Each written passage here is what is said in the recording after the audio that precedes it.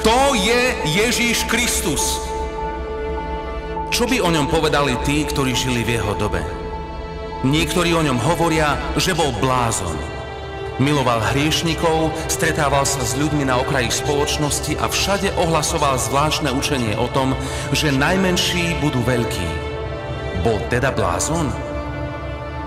Rimania by povedali, že to bol revolucionár. Prišiel, aby rozpútal vzburu. A potom tu boli ľudia, ktorí si mysleli, že stál na strane zla, že prišiel v moci zla. Každopádne, vieme o ňom pár vecí.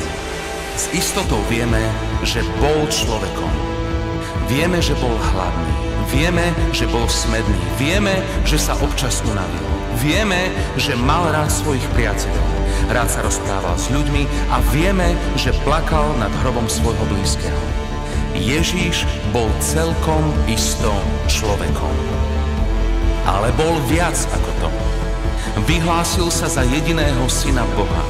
Učil obrovské zástupy ľudí a tí ho nasledovali všade, kam išiel. Nie divu, že sa na ho naštvali mocnári a duchovní vodcovia. Nie divu, že sa ho snažili zabiť. Nie divu, že ho nakoniec ukrižovali. Ale Ježíš bol predsa ten, ktorý dával zrak slepým. Učil ako ten, ktorý má moc a nie ako zákonníci. On dával hluchým sluch a ukázal, že vládne nad smrťou, keď krísil mŕtvych. Keď umieral na kríži, vysel tam priklincovaný, ukrižovaný medzi zločincami.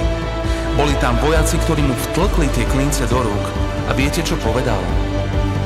Otče, odpustím, lebo nevedia, čo robia.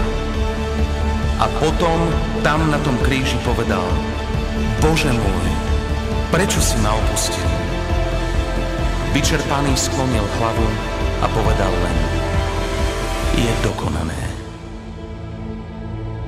Čo tým myslel? Čo dokončil?